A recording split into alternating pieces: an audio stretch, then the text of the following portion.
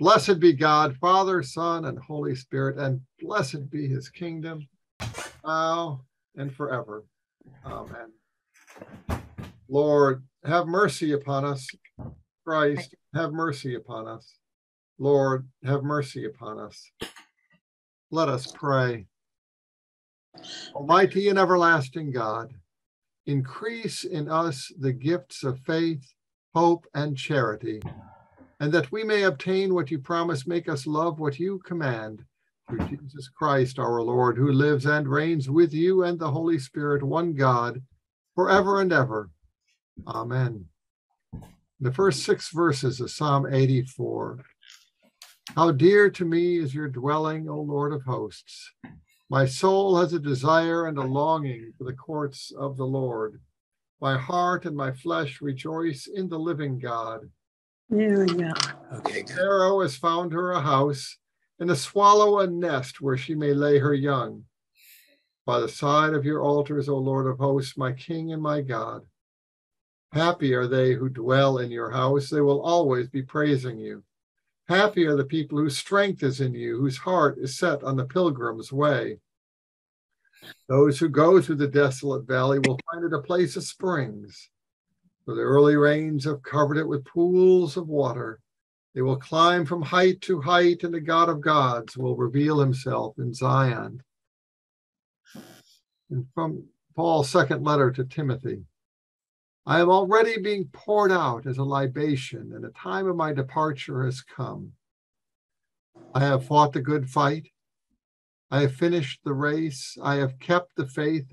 From now on, there is reserved for me the crown of righteousness, which the Lord, the righteous judge, will give me on that day. And not only to me, but also to all who have longed for his appearing. At my first defense, no one came to my support, but all deserted me. May it not be counted mm-hmm. against them.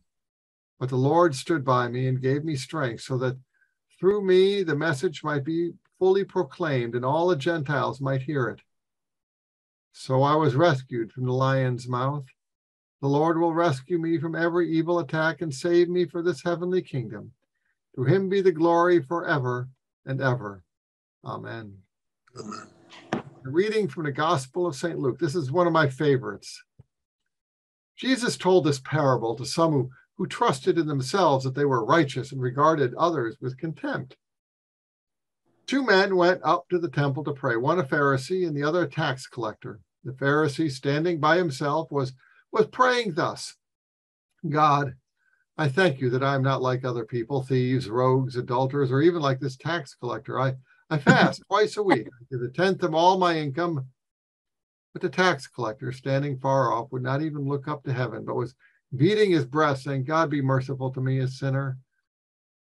I tell you, this man went down to his home justified rather than the other. For all who exalt themselves will be humbled, but all who humble themselves will be exalted. Uh, It's important in this passage to understand that how we read scripture and what we hear and how our, our understanding is not always how the people in Jesus' time understood it. When Jesus referring to the Pharisees, he was talking to, about people who were some really great people. We look and when we hear about the Pharisees or the scribes, it's always, oh, here we go again. Here are the bad guys. Here are the, the people who just didn't get it. Um, but the Jesus was using the Pharisees as they were the people who were the well-educated, seminary trained people who were the leaders of their churches, and I mean they're looking for renewal. They were um, really the the people, the the major pillars of the of the community, and we're very faithful and and we're really seen in very positive light. And so Jesus is taking these people who everybody saw, wow, this is who we, uh, you know, the the the ones who are making a difference in, in our in our synagogues, and and twisting it all around. And you can twist it in many different ways. Jesus was taking his age and saying, sometimes people who you think really have it together don't, and sometimes people who you think don't have it together are really missing the point sometimes and and we we it's easy for us to make judgments about other people And I have noticed many, many times that when people start making assumptions about people, you're going to find yourself in trouble. And, I, and if this, in the Episcopal Church, there's, you know, sometimes if you just came in cold and didn't know anything about many of the Episcopal churches, you'd think, wow, look at all these well dressed people. They've got it all together. They, they've never had any problems or any struggles. That is such a wrong reality, though. Um, I mean, I look out at, at, at the congregation and I see people who have lost children in horrible accidents, gone through divorces, horrible illnesses you know, there really is, you don't know where people are coming from. Um, I remember one time somebody was having a very um, public affair and was um, seeing a, a, another woman and married. It was very, very, in a small town, you know, way too much sometimes. And this was a very public kind of a dynamic that was going on. And he was coming up for communion and I'm, I'm sitting there in my complete judgmental mode of what is he doing here? What is this? Is like, I can't believe this. And there's a part of me saying, why am I giving this man communion? And then it's like, don't you dare think that, Peter, because you do not know where this man, what's going on. He could be coming up saying, Lord, have mercy upon me. I'm a sinner. I'm not worthy to be here.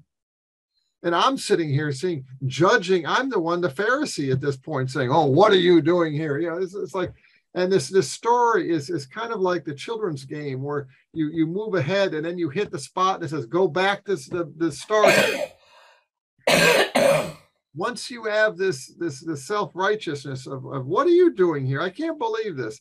You know it's like go back to the beginning again. Um, this this parable is a, is a great a, a example of this parable is high school or college reunions. To your fifth or tenth high school high college reunion most people are see how I'm married and have kids and look at the college I went to and look at the job I have and see how important I am and I'm really something. But then you go back to your 40th or 50th and you see the same people. It's like, you're still alive. Yay. oh, how's your shoulder? How are your knees? How are, you know, you know, all of us have issues that we have to go through.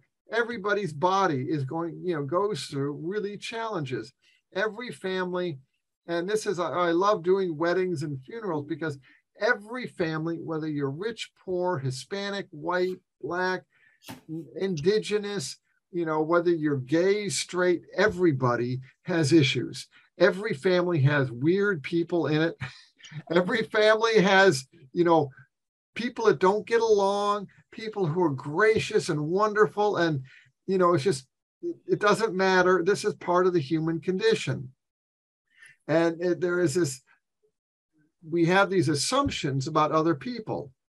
And oftentimes you could tell this parable, you know, for the Episcopalians, oftentimes we feel like, oh, we're really important people in the community. We do a lot for all sorts of other people. And, and this is where we fall into trouble. You go across the street to the Baptist church, and you could tell the parable in a completely different way. You know, a man walks into church and sees, you know, this rich person up front and thinks, well, at least I'm I'm not one of those educated fools like that. I'm just a poor working man. I know Jesus. I'm not, you know, you could tell a story in many different ways. You know, I'm not one of those scientific people. I just, a you know, practical, common sense person. Our, our way in which we judge other people is there's no end to how we can twist and turn it. Every culture there is has their way of feeling superior, feeling better, um, or this is our I'm living up to the expectation of what others want of me. There's nothing wrong with with helping out, doing other people, doing for other people, and and and caring for the community. The Pharisees were great people, but when you start thinking that when I come to worship, when I come to God and I'm bringing all my wonderful gifts and my, you know, God, here are my wonderful political perspectives too that really are so correct, or my, um, this is what I've done this and I've, you know, rebuilt the church and I've done the food pantry and see how wonderful I am. Rather than coming to God, sharing our wounds, our fears, our frustrations, the things that have in fact i'm not proud of the things that i wake up and i realize i i should have done that and i didn't 10 years ago, and I still regret it. I, you know, that I can drive by a house and say, you know, that was somebody I should have visited and I didn't. And I can still, things that haunt our life. And sometimes they go back 50, 60 years. This is what we bring to God. And it could be that, I mean, the, the number of people who have found their ministry through their brokenness, through their wounds, people who have gone through illnesses and become that working with other people with the same illness or people who've gone through addictions and the embarrassment of of facing that that that they need help that they that they are an addict then end up helping so many other people in their addictions. People who have lost loved ones. And from that loss of loved ones that they're able to minister to others in grief even in little ways my first semester in college i went off and um, I had to take French. You had to take two and a half years of French in my college. In my first semester, needless to say, I I didn't do well adapting right away in college, and I um, basically failed French. Would be an understatement. um, and I just didn't get the picture, and I didn't get what college was about. And that class, I just it was a, a deep embarrassment, and I um, it was one of the things I had to deal with in, in, a small college. I actually got to know the French professor quite well in years to come after that. But ever since that first semester, what happened was um, other people would come into college and they would their first semester and I'd hear people say, I can't believe I'm getting a B in this class. I've never gotten a B or a C. And I'd look at them, well, I failed it. and they would feel so much better. I was because of what I was so my humiliation, I was able to make a lot of people feel really good. And and life was a lot better for them. I, you know, I ended up passing this two and a half years of French and I learned how to do that. And and it was one of those things that um you you have to and we all we all have those moments when we realize that we are not the center of the universe. We are not the most important person. That really, in fact, I was talking to my my son the other day, and and we were talking about various issues of, of children and attention deficit disorder and various things. And I have my opinions, and I try to keep them quiet with my children. Um, I make serious efforts, and sometimes I don't always succeed. But he really had some good points about things that were different than mine. And I, after I left, I started thinking, I need to ask him more about that. That really sounded interesting to me. Um, I need to learn from him.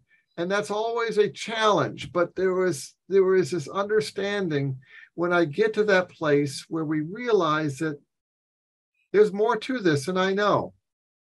You know, talking to Francis about the pandemic and the, then the vaccines, there's so many different levels of all the vaccines and, and the COVID. And the, I mean, I, I hear things and I do the best I can. And I'm now not wearing a mask when I do the, this service. I don't really know what I'm doing, you know. And I try to follow what the guidelines of what people are saying and to do the best I can. And and there are times when I succeed and sometimes I, I don't do well. But this is what I bring to God. Not that I've got some really good ideas for the diocese or for the parish, or these are things I really want to push for the parish. This is what we should be doing. No, it really starts with, and and the transformation of my life comes when I realize I I might have missed this one, God. And God is doing a new work in the church that's very different than what we've known before. And and this is what from Jesus himself saying in this parable, what do you think you know? It's it's it's all flipped around. When Jesus spoke this parable, he he begins it by presenting these two pe- people, and everybody when they first heard it would have assumed the parable was going to go the other way, and assumed, well, the tax collector, he's not, you know, that's the guy that we we, we stay away from.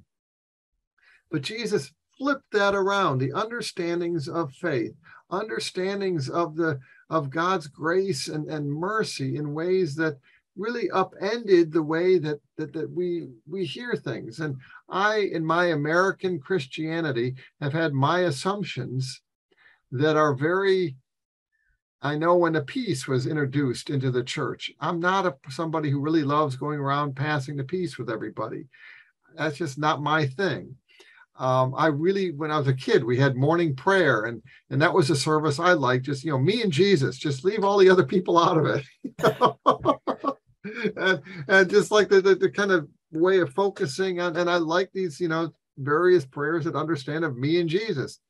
But we are part of a community, and I am learning more and more that there is things that God are, is doing. I may be comfortable in one way of thinking. I may be comfortable in the food I eat and the way I worship, but sometimes I find that when I go to a different group and a different culture, that I can be surprised. When I try, um, you know, I work with my grandchildren, they have their very limited understanding of food. and it's all kind of white, bland, non spicy food. Um, you know, potatoes and, you know, whatever it might be. But they, and I, I'm trying to introduce them to different ways of eating. that you can try something new today. and just a taste, just a taste. And this is where so often God is helping to understand that we need to hear and see and know that God is flipping our own understanding of what we think is right, what we think is good, what we think is the, the, the holy and righteous people. God sometimes flips it around on us. I, I I look at somebody, you know, in a small town. I can't believe this person, what they're doing, and this is just wrong. And yet, this is where God's grace is shining and we can learn. And I, I go, you know, the where uh, uh, other traditions are offering insights, where I, I go and I've at the diocesan convention and I, I, get so frustrated with the, the, kind of a liberal agenda that even though I can sometimes be rather liberal in some of my thinking, it bothers me when all of a sudden this, you know, the, it, it's kind of a voting block that you can't argue with and I get very self righteous. and as I complain about the, you know, what they're doing and they should be doing it in a different way. And then I have to listen and I listen to the bishop's address and I said, you know, I'm the one who's judging others. I'm judging these people for what they're doing. And I'm the one that needs to go like this this parable says, back to the back of the line. I'm standing there making my judgments. And God is trying to call us back to the place where we're not blinding ourselves or cloaking ourselves with, with our own self worth, but rather opening ourselves to be worthy by God's grace and God's love. There is nothing that my children or my grandchildren or my wife can do that will earn my love. I just love them. This is a gift from God that God has given me to somehow be able to understand that there's nothing I'm able to do that's going to make God love me more. I need to just let go of all of these ideas I have and just understand that I am deeply, deeply loved, that God has a love for us. As I look at my grandchildren or children or my wife, and just the way she moves sometimes or says something, I'm just like, wow, that's really beautiful. That God might be looking at me and saying, that's really beautiful. I'm, I'm really impressed. And it's not the things that I think would impress God, it's just who I am, who we are. In fact, it is a foible, sometimes the things that I'm embarrassed by, that is the most endearing. This is what we bring to God's God, the throne of God's grace, not our greatness, but ourselves, that we might be blessed, that we might know that we too, like Paul, have run with endurance the race through our pains, through our wounds, through our isolation, and we don't need to bring any judgment on anyone else. We just come and know that we are loved, deeply, deeply loved that God is waiting for us once again this day, that we would know that there's nothing that we do that will ever separate us from that love. Amen. Amen.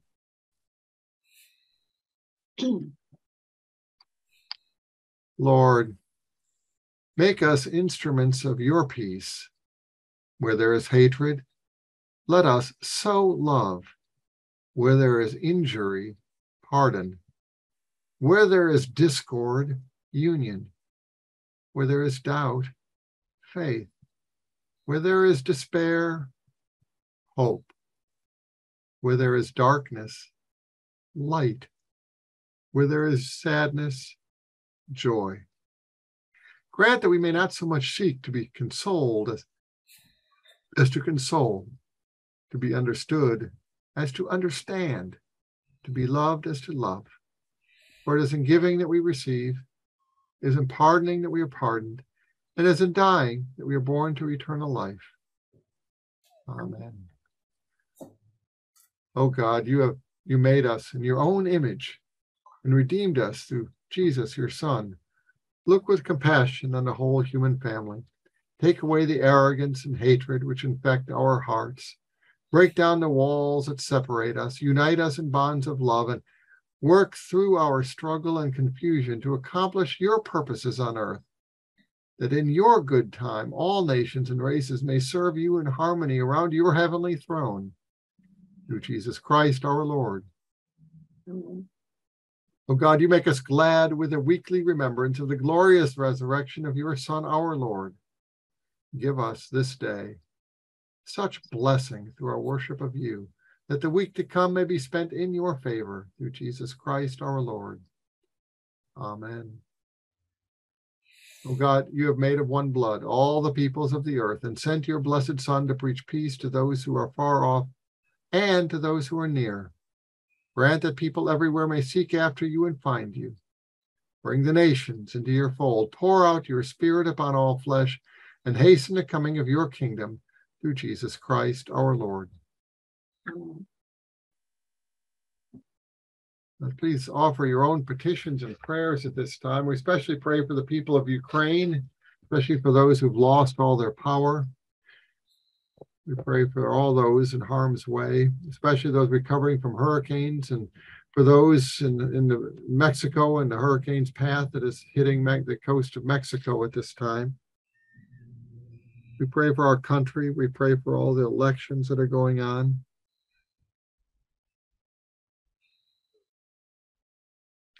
For all those who are traveling.